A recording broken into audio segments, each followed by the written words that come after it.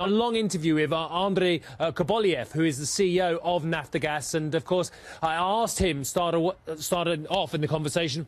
Uh, about the dispute uh, and whether he thought that actually Naftogaz uh, should be paying more up front uh, or whether actually the, the gas just hadn't been supplied from the Russians as well. Let's just listen into the conversation. Had there been a situation when the prepayment of Russian gas would equal zero, the gas would have been switched off immediately. Mm. And that was mentioned by both Mr. Miller and Mr. Putin many times. That was their public position, uh, which is in line with the contract. That's why uh, for the whole winter season, we always kept certain amount of prepaid gas at the volume we felt appropriate. How do you find the negotiations with Mr. Miller? Is it just normal business relations between two companies, Naftogaz and Gazprom, or do you believe there is a political bias to it? I believe there is definitely a much uh, wider agenda than just gas and business. And it's not only about our negotiations. If you look at many European gas importers uh, who were cut by 30 or 40 percent in their deliveries by Gazprom uh, since September.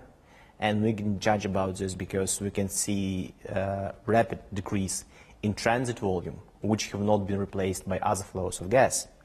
Uh, you can assess what is going on.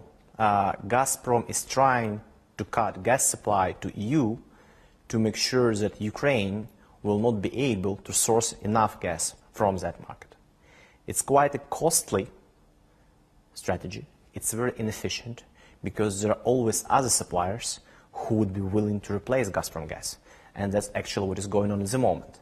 And at the end of the day, it destroys the reputation of Gazprom as a reliable supplier of gas to EU. Because when you cut your customer and you don't explain, that's something which probably will not do any good for your relationship. However, it is being done and we don't see any commercial explanation to that. Had I, I believe any person would be managing any gas supplier, he would try to keep market share, make business profitable, and um, long-term predictable. But it's not the case with Gazprom. Do you see an immediate threat to gas suppliers from Russia to Ukraine? Do you believe the taps will be turned off? Honestly, we don't know we know what they will do uh, from the beginning of March, because for us, the breach of Brussels agreement, where Gazprom clearly guaranteed not only to us, and firstly most importantly not to us, but to EU, that they will follow the agreement, was breached.